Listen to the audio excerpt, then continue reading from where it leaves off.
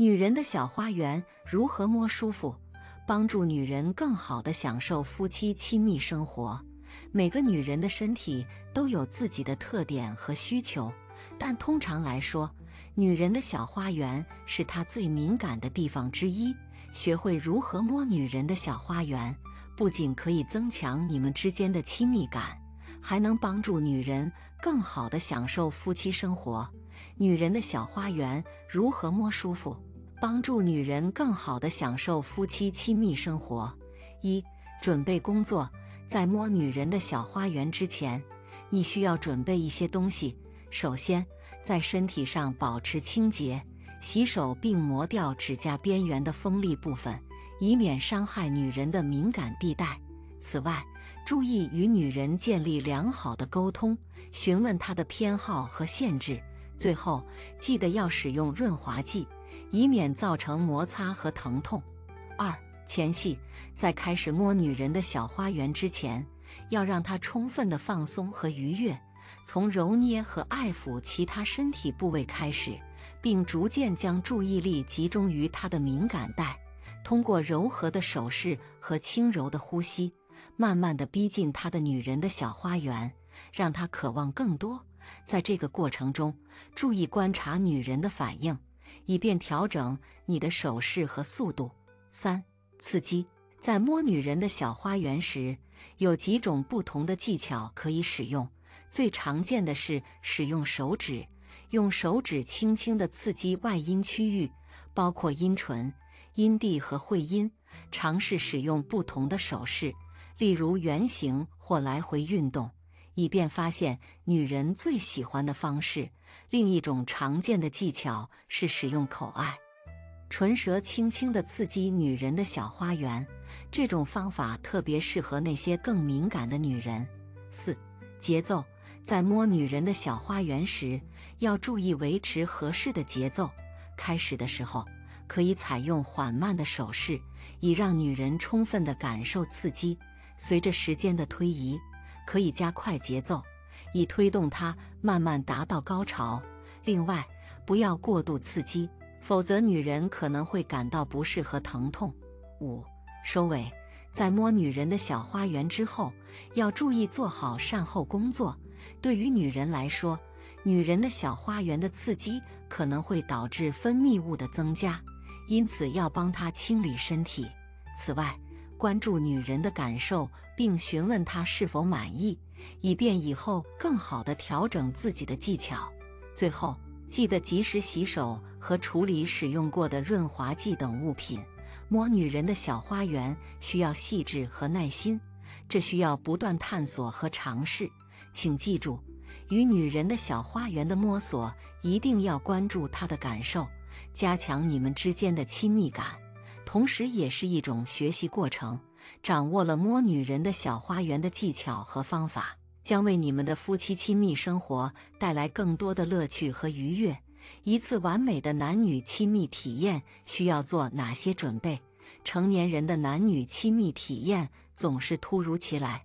前段时间，我发现坐我边上的女同事有点反常，每天下班后第一时间就是跑进洗手间补妆，甚至有一次，我还碰见她对着镜子一脸狰狞地拔唇毛。再想想她包里曾掉出的一包安全套，这姑娘估计是恋爱了。后来聊天才知道，她对喜欢的人还处于尬聊阶段，偶尔能约上会，距离也端庄的跟商务会谈似的。我就好奇了，你们这个阶段基本没有使用安全套的可能吧？你每天下班准备个什么劲儿？同事接着就回了我开头那句话。成年人的男女亲密体验都是突如其来的，不随时准备好，错过了机会咋办？想想也有点道理。当代爱情总是变幻莫测，一个契机到了，就可能小火花突然点着，该发生的就会发生。与其等真诚相见时暴露出不完美，留下遗憾，不如平时做一些小心机，先做好准备。下面这些小方法也许可以帮到你：一、随时做个自带体香的精致女孩，一次完美的男女亲密体验。仅仅贴面膜、化妆是不够的，在视觉和触摸的检验下，每一点小瑕疵都会暴露无遗。所以，全身每个角落都要力求完美。除了脸部和头发的打理，身体乳也要每天坚持涂，最好选择凑近了能闻到淡淡香气的那种，让他觉得你是一个自带体香的神奇女孩。除了随时涂抹身体乳，腋毛和腿毛也要记得刮干净。如果还有时间，就涂个脚趾甲油，从头到脚都保持精致。二贴心少女家中常备过夜套装，男朋友要来家中过夜，平时宅家穿的旧 T 恤和秋裤一定要藏好，换上成套内衣和真丝睡衣。等他到了你家，如果能发现你贴心的准备好男士拖鞋、专属牙刷、毛巾、额外充电设备等等，他一定会感动于你的体贴温柔。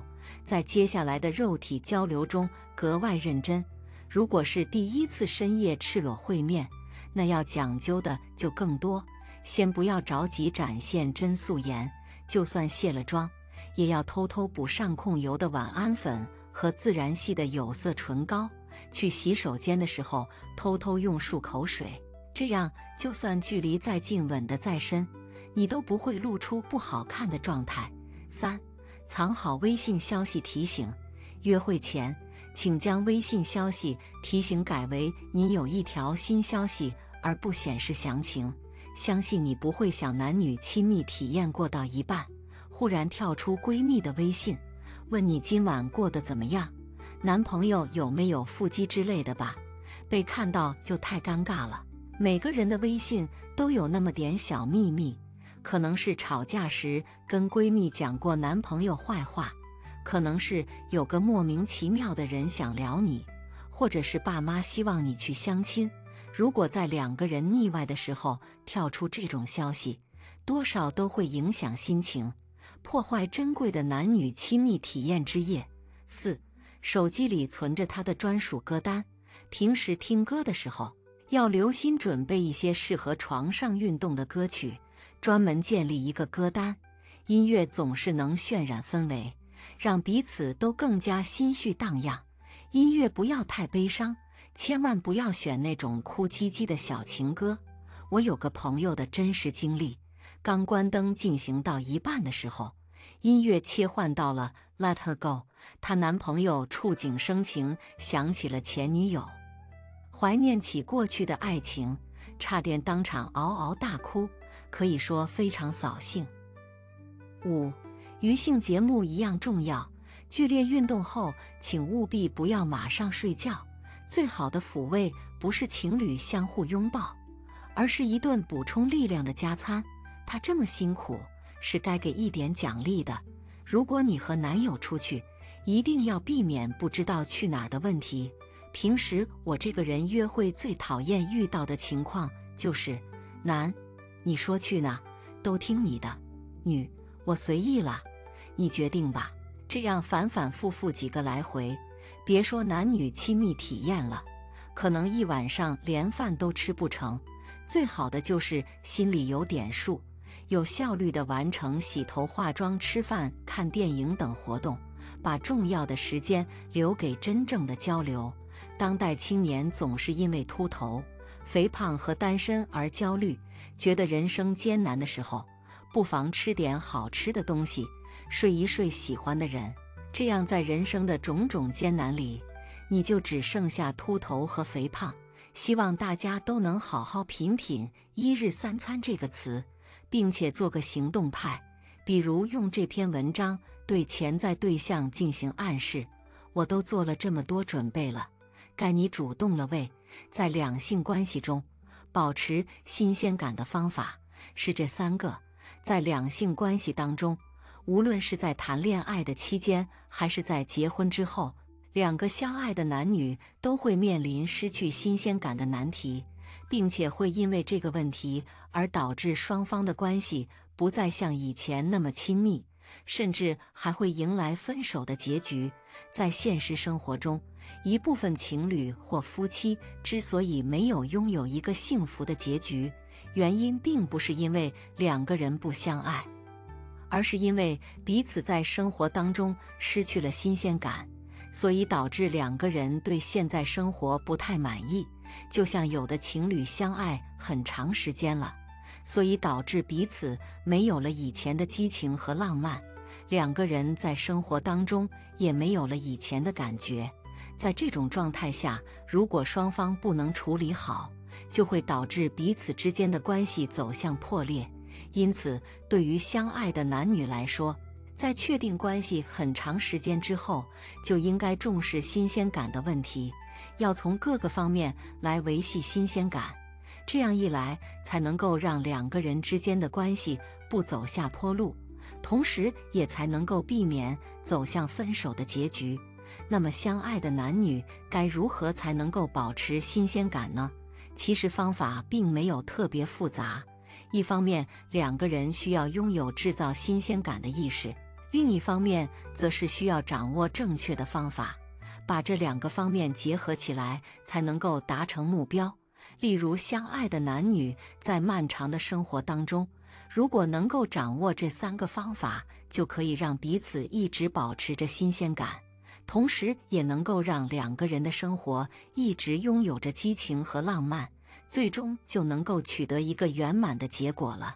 一，男女双方需要调整心态。其实，对于很多相爱的男女来说，他们之所以在感情发展的过程当中没有了新鲜感。有一个很大的原因是他们的心态出现了问题，所以导致彼此根本没有用心去经营感情和生活。对于这一部分男女来说，他们在刚开始相爱的时候都富有着足够的激情，两个人都有意识的去经营了彼此之间的感情，懂得用合适的方法来保持新鲜感，所以两个人的关系特别亲密。但是随着两个人相爱时间的变长，彼此之间的警惕之心也就随之放松了下来。双方不再像以前那么有意识的去经营感情了，在很多时候就会忽视彼此之间的生活，这是一个很重大的问题。就像有一部分情侣在相爱很长时间之后，都是各做各的事情，平常的时候也没有太多的激情。更不懂得主动去改善这种生活，所以导致两个人的新鲜感逐渐消失，最终就迎来了悲剧。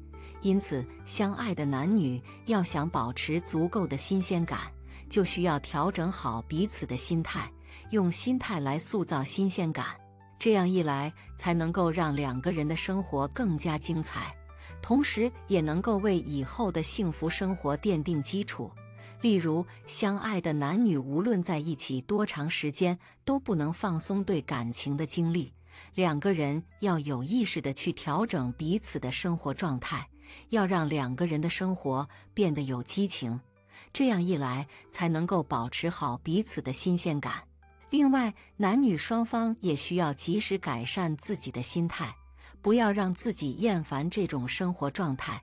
要及时用一些富有新鲜感的事情来经营生活，这样一来才能够让男女双方满意，也才能够保持新鲜感。总之，对于相爱的男女来说，在彼此确定关系之后，就需要及时调整两个人的心态，不能在确定关系之后就放松下来，那样只会让两个人的新鲜感逐渐消失，这就不利于以后的幸福生活了。二，男女双方要多做一些浪漫的事情。对于相爱的男女来说，要想保持好彼此的新鲜感，就需要让两个人的生活富有着浪漫和激情，要让彼此在生活当中能够紧紧粘在一起。这样一来，才能够让新鲜感时刻环绕在生活当中。可是，很多男女在相爱的过程当中，并没有做到这一点。他们大多没有去做一些浪漫的事情，更没有像刚开始那样去重视彼此之间的感受，所以导致两个人的新鲜感逐渐消失了。就像有的情侣在恋爱很长时间之后就没有去做一些浪漫的事情，也没有像情侣一样出去玩一玩。这样的一种状态，就会导致彼此的心态变得老化，进而也就会让两个人的生活失去新鲜感了。所以，对于相爱的男女来说，要想保持彼此之间的新鲜感，就需要多做一些浪漫的事情。在条件允许的情况下，要多和自己的爱人出去浪漫，这是一个非常重要的改善方法。例如，相爱的男女在节假日的时候，可以和自己的爱人一起出去玩一玩，可以做一些情侣常做的事情。通过这样的一种方式，既能够让彼此变得开心，同时也能够让两个人富有的激情和浪漫。另外，相爱的男女在生活当中也需要保持一种亲密的关系，要多重视对方的情绪变化。都给予对方情感方面的关怀，这也是一种富有浪漫的行为，在后面就能够让彼此之间的关系变得更好了。当相爱的男女在生活当中能够具备这种方法，就可以让两个人在生活当中具有着新鲜感，同时也不会让生活变得枯燥乏味，最终可以取得一个很好的结果。这是需要努力的一个方向。其实，对于相爱的男女来说，在确定关系之后，如果能够一直保持着浪漫的行为，就可以让两个人一直有着爱情的感觉，同时也不会失去新鲜感。这是每一个人在感情当中都需要具备的意识。三，男女双方要积极回应彼此的爱。在现实生活中，一部分情侣和夫妻在生活当中是处于一个很冷淡的状态。他们不仅没有主动去向自己的爱人制造惊喜，甚至在很多时候也没有积极回应爱人制造的惊喜。而这种状态就让他们的关系出现了问题。正是因为一部分男女的这种状态，所以导致他们的新鲜感逐渐消失了。不仅是没办法拥抱浪漫的生活，甚至在很多时候还会让彼此产生分开的想法，这是必须要解决的一个问题。要知道，男女双方的新鲜感需要彼此共同来创造。如果只是某一方去创造新鲜感，而没有得到另一方的回忆，在这种状态下，就会导致两个人都变得缓慢，不再去制造新鲜感。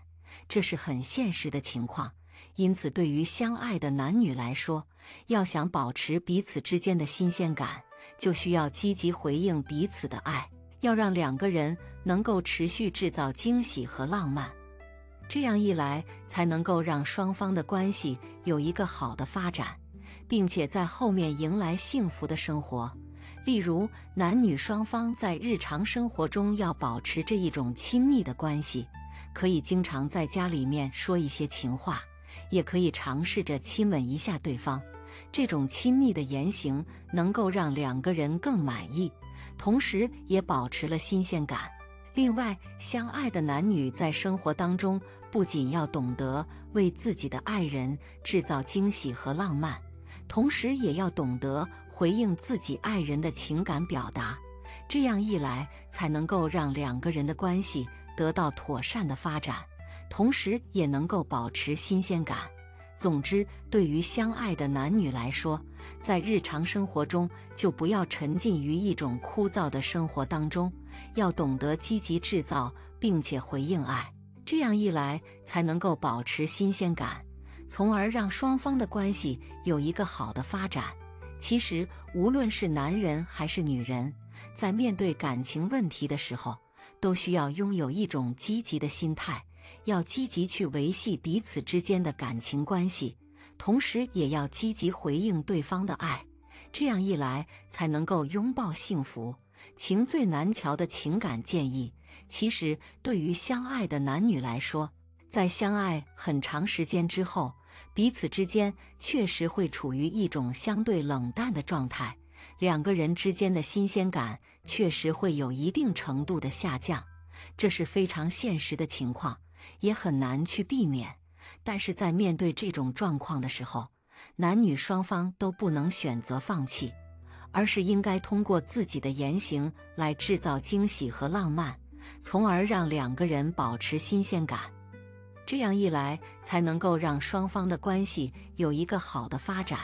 所以我建议相爱的男女在日常生活中需要做好上述的三件事情，通过这些行为就能够维持好彼此的新鲜感，从而能够让两个人在日常生活中特别快乐，最终就可以让这段关系有好的发展。